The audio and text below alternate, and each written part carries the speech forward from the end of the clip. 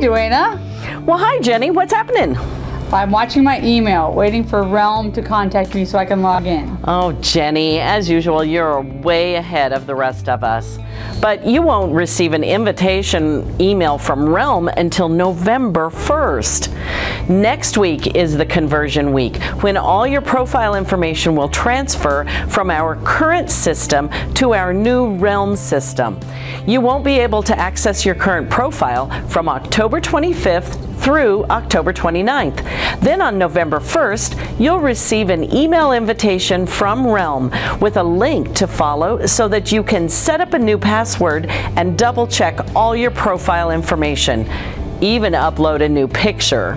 But what if somebody only uses their phone or iPad to stay connected? Oh, no problem. Realm has an app for both Apple and Android devices called Realm Connect. You just download it and sign into your account. You'll be able to review your current information, set up new pledges and giving, and register for classes or events. Even look up other members to find their address or phone or message them for a coffee date or to get together for a mission project. This all sounds complicated. Not at all. Anybody who uses social media or email shouldn't have any problems. Realm is a very user-friendly system.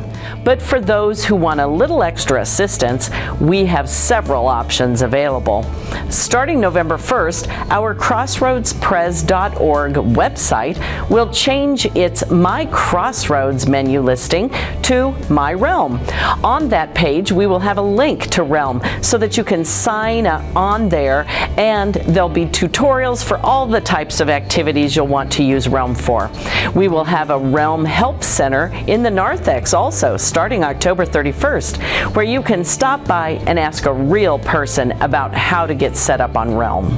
Well, this sounds like it'll be really helpful to our church administrators for all the updated information and organizational opportunities. I guess I'll watch my email information on November 1st and get started on Realm that week. That's what we're praying for an easy to use system that will help us be connected to each other, our church, and to serve out our mission for all God's glory.